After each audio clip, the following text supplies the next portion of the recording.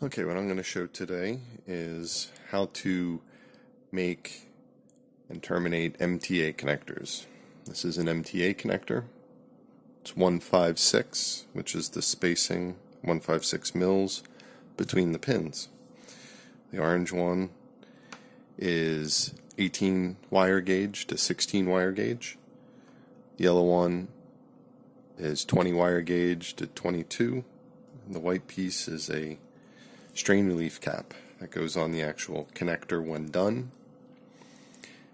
and just prevents the cables from pulling out, being able to take a good amount of force without causing any damage. The idea is to be able to terminate these wires into the actual connector. They're user assemblable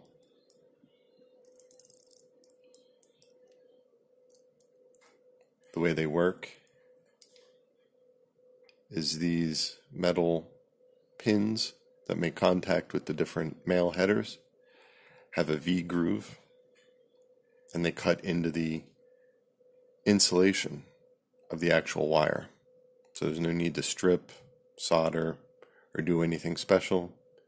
We use a small screwdriver. In this particular case, just a standard jeweler's screwdriver.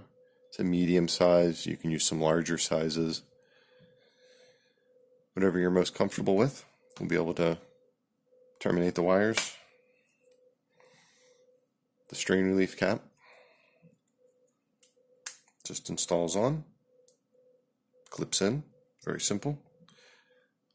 This is a piece of 18 gauge stranded wire comes with the PSU kits. In this particular case, we're going to use the orange connector.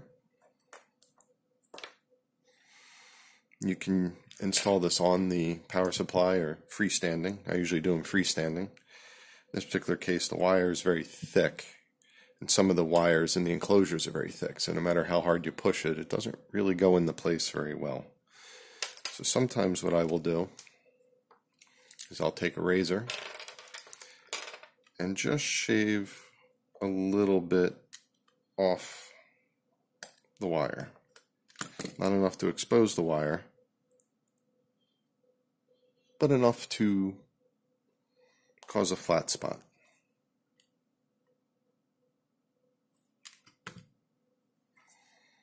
This will thin the wire out quite a bit and make it easier to insert into the connector.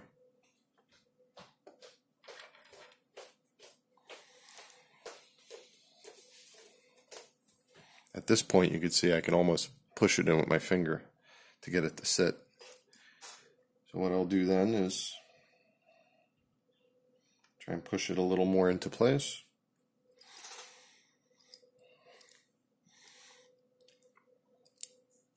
And then I will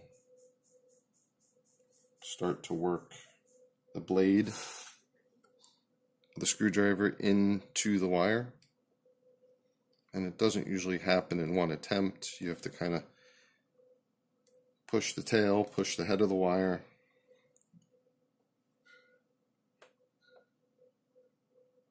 If you have a bigger screwdriver, sometimes it goes in in one push. Usually they do not. And then, when you're done, you'll see the wire is into the V of the connector.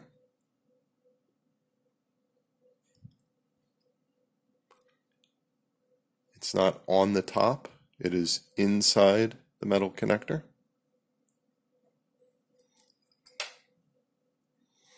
It's strong. I can jiggle and pull on it pretty well and it won't strip. And then I'll install the white dust cap or strain relief cover on the top and that's done. You can go ahead and install the rest of the wires in these as needed. You'll have a simple user assemblable connector.